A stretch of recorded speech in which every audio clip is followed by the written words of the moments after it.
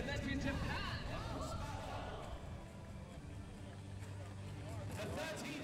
杰克以及中国男子的奖牌归属是土耳其。Again, and the silver medal from Czech Republic and the bronze medal